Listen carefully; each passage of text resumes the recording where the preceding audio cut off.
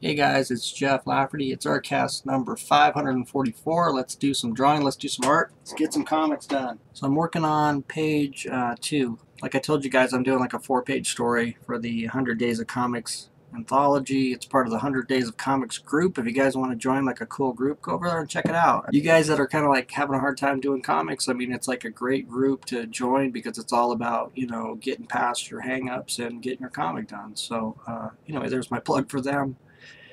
I had a couple questions. Uh, let's see. Let me go find it. Hot uh, Gaia A120, I think is what it says, or AL20. It says, how are you able to make your pencil so sharp? I want to try that with my color pencils. And I ac actually answered it in the comments. I just said I use a knife. But I thought I'd elaborate on it. This is the knife I use right here. It's a Husky, basically utility knife. And this is how the blades come in, like right there. And this is the kind of blade it, holds. Just a normal utility blade, but you know, they're super sharp. And I like them because you can pull the blade out, put a new one in, and you always have like a sharp blade in there. Because if you try to sharpen your, especially your color pencils, without a sharp knife, then um, it just won't work out. And let me show you how I do it. I got my camera pointing down. Hopefully I'm in focus. My uh, trash can's down there underneath me. And um, basically how I do it is um, is I just hold it like this. I do it like this basically. I just keep my finger real flat and then I just run it like right there. And I let the like my finger and that be the part that holds it nice and uh, nice and firmly so you can just kind of cut that off like that. And then you get these like super sharp ninja points. Somebody used to call my, my pencils ninja pencils back in the day. But anyway, that's how you get that. It works well on the Faber-Castell color pencils because they're harder. So the tip, you know, doesn't break as easy. That pencil I was just sharpening there was a Prismacolor. I like to use the Prismacolor white because it's kind of softer. It's got like almost more of a creamier consistency, I guess. And for some reason I like to use that on my whites just because of that, that softer feel to it. On the downside of it, it you know, they break like really, really easy. So, um, anyway, that's how I sharpen my pencils. I was watching another show about, you know, comics artists and stuff, and on there they were talking about, you know, the whole self-criticism thing, and um, they were talking about the whole uh, thing where, you know, you want to do comics, or you want to do some big idea, but you just kind of never get to it. You know what I mean? It's like you've got this sort of like dream thing. I'm just going to use comics as the example because comics was a big hang up with me for a long time. You know, even though I did comics for like Marvel way back in the day, I still had this big hang up on like doing my own comics for some reason. It was really weird. I'd do like a 24 or 28 page book for an editor, you know, for for them when I was asked to, and I would like stay on deadline and all that kind of stuff.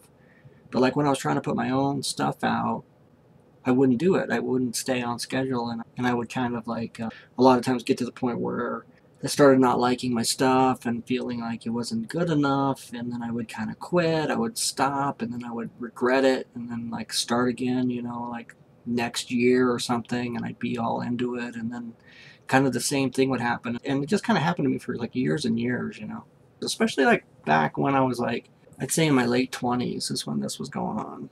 I just had built up like such a mental hang up about this. Anyway, that's kind of what they were talking about on this this show. You know, they were talking about what their plans were to sort of get past this this mental thing, and um, to kind of get past this hang up and you know start doing the comics they want to do. And they kind of had different ideas, like you know, try to do like a short story or a short comic and that kind of stuff. I think that's like a good idea, but I think that sometimes like when you're not invested in like your big idea, you know, like if you have like kind of a small idea and a big idea, and your big idea is like your big epic comic that you've always wanted to do, you know, everybody tells you don't do that one because like that one's going to take forever and, and you might never get to the end of it, that whole thing, you know. And I think that is good advice. But I also think there's like another side to that, which is like if you're working on a project that you don't care about as much, like if you're doing a comic to figure out how to do a comic for your big project, it's like I kind of don't think I would bother with the smaller comic because I think that you you know you're not going to have like the passion, you're not going to have the drive. It's not going to seem as important to you. Like when you get to that point when you know you don't like your work and you're feeling discouraged and you're feeling down and your and your brain is telling you maybe maybe I should stop and try something else unless you're on that big important project where it's like all important and all encompassing you might not stick with it you know what i mean? You might you might give up on it because it's just not that important. It's just a small story you know? Maybe you'll look at it like it's just kind of an experiment it doesn't matter it just didn't work you know? But anyway you know beyond all that stuff you know like no matter what you pick whether you pick like a smaller story or you pick your big story or whatever it is you know? Um, the thing is is like at some point you're always going to get discouraged you're always going to get to that point where you look at your art and you go like god what am i doing you know you know, it's like that self criticism. For whatever reason, it just runs around your mind just unbridled. And I don't know why. I don't know why so many artists are just so critical of themselves to the point where they stop themselves from you know doing what's important to them. And um, and with myself, the way I kind of eventually got over that, I mean, and I've told this story before, but it's it's like it's relevant. I want to tell it again because I know there's a lot of guys who are trying to do their comics out there watching me right now, and I think that this can like you know maybe shed some light on this thing because when it was happening to me, I kind of thought this was just a thing that just happens to me. I didn't think it was just like a thing that happens to everybody. Now that you know, like the internet is here and you like can see the struggle, you know, across the board with like so many different artists. I realize it's just like a thing that happens to like most of us, I would say. I don't know about everybody, but I think that a lot of people suffer from this, you know. But anyway, like, you know, I was talking about, like, you know, how did I kind of get over it? And with me, I started to sort of recognize when my brain was going into that sort of, you know, like I said, unbridled criticism kind of mode where you're like halfway through a comic or halfway through a page and you're like, this just doesn't look good. you know what I mean? This just sucks. Why am I doing this? All this kind of stuff. And um, and I can't always catch it like every single time. But if you know that that's going to happen, you can be ready for it, and you can kind of just, even though it kind of goes against your instincts, but just go completely against it. So when your brain's telling you, "Oh, this isn't good enough. I don't like this. This doesn't look right," just be like, "I don't care that it doesn't look right. I'm just going to finish." You know, I don't care that it's not any good. I'm just going to finish. I don't care that this isn't thing isn't the thing I should be doing right now. I'm just going to finish, you know, and just kind of stay focused on that goal that you set in the beginning and like kind of realize like that was valid at that time. It's still valid. And the thing that's kind of like happening inside your mind, the thing that's trying to like stop you from from from doing it isn't valid. It's not reality. You know what I mean? It's, it's self-sabotage. You know, it's like your brain trying to stop you for whatever reason. I'm not exactly sure why, but it's sort of like trying to stop you from getting what you want. I mean, it's a crazy thing, you know. I mean, criticism is like a crazy thing. Every time I talk about criticism, I kind of get myself in trouble. And I'm trying to stay off topic so get me in, get me in trouble for a little while. But um, I think it's because I'm an older artist that I don't feel like criticism is, is, is as valuable as a lot of artists on YouTube, you know. And I think that that's why. It's because, like, looking back through my own life and, and just thinking of, like, all the times I sort of talked myself out of something because I didn't feel like I was good enough to do it at the moment. And just how many of those projects I would just, I would love to have them done right now. I would have loved to just stuck in there and done them, even though I, I didn't feel like I was ready at the time, because it just would have been, like, way cooler to have them done than to be in the position that I am now, where it's like, you know, like quite a million things, you know?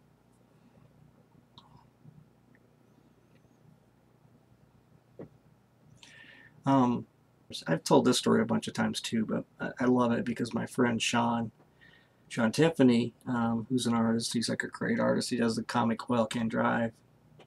Told me this story a long time ago, and it's just like I always come back to it because I think it's just so awesome.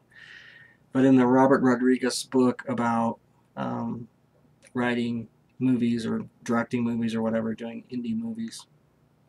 He talks about this um, experiment that they did, you know, in some science lab somewhere, where they took a whole bunch of people and they put them all in two groups, and they told the first group that they were going to make uh, pots, you know, like ceramic pots.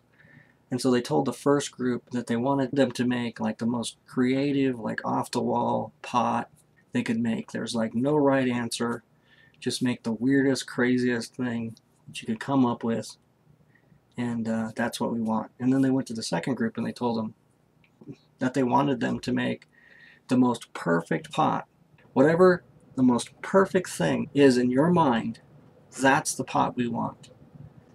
And then they let them go and they let them do their ceramic pots and all this kind of stuff. And then they showed the pots at the end, you know, and it was just like this crazy thing where you know like the most perfect pots the, the ones that where they tried to do like the best possible pot that they could were like the worst pots. And the ones where there was no right answer and they were just trying to make like the coolest pot they could make those ones were cool. You know those ones were awesome.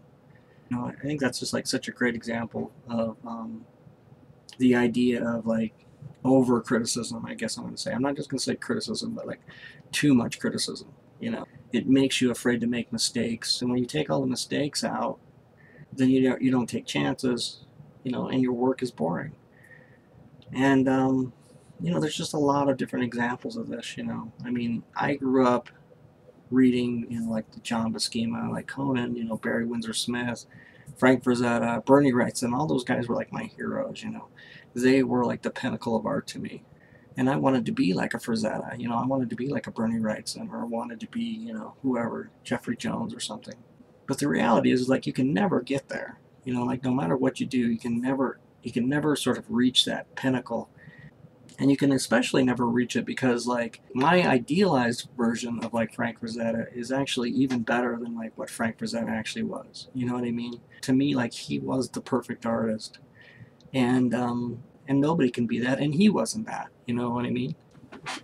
You can only be as good as you as you are in this moment like right now you know? You're not going to be as good as you will be in 10 years no matter what you do. And if you don't and if you don't do anything you're not going to be as good as you will be in 10 years if that makes any sense. I mean, for example, like, you know, if you want to be a comic book artist and you start doing comics now, you know what I mean? You get yourself on a schedule, one, two pages a week, and you do comics for 10 years. Like, the comics you're going to do in 10 years are going to be like a ton better than, than what you're going to be doing this year. But you're never going to get to that level that you would be at in 10 years unless you start making comics like right now, you know? And on top of that, you know, if you've ever looked at you know, let's go back to Frazetta, Like you look at Frazetta's early work, you know, like his early comic book work. You know, in my opinion, it kind of like just pales in comparison to like his oil paintings and stuff. You know, but I still love it. You know what I mean? I still love it, man. I love those, you know, Johnny Comet strips he was doing for the paper, or uh, I can't remember what the one was that kind of like the Tarzan ripoff, Jungle Jim or something like that he did. They were really cool. Those Buck Rogers covers he did, you know. You know, I wouldn't have wanted to see like him go back and like redo that stuff and then hide hide that stuff away. You know, that stuff was awesome. It was where Frazetta was at at that time. And then, you know, later when he was doing the oil paintings, that's where he was at that time, you know. I mean, every artist is like that. You know, you can go back and look at Jack Kirby's old stuff, and it's the same thing. It's it's kind of a shadow of what Jack Kirby became later on. You know. Anyway, I'm sure that drug on way too long, but um, you guys get my point. You know, you got to power through the doubt. You know what I mean? You just got to power through the doubt. And you got to start your comic or start your big project not in a week, not after you fill up like six more sketchbooks Got to start it tomorrow. You got to keep going, man. You got to hang in there by your fingernails, by your teeth, like however you can get in on that thing. And you got to ride it out, get to the end of it. You know, that's the only way you're going to get to like where you can actually get projects done, you know. Anyway, that's it. Uh, Merry Christmas, everybody. Uh, I know it's like Christmas Eve when this video is going to post, so I uh, Hope everybody has a great Christmas. I hope they get all kinds of great presents and they've given like the best kind of presents you guys can think of. Check out Berserkonaut at Indiegogo. Uh, sign up for my mailing list if you're into that, and uh, support support me on Patreon if you if you feel so inclined. I'll see you guys next time.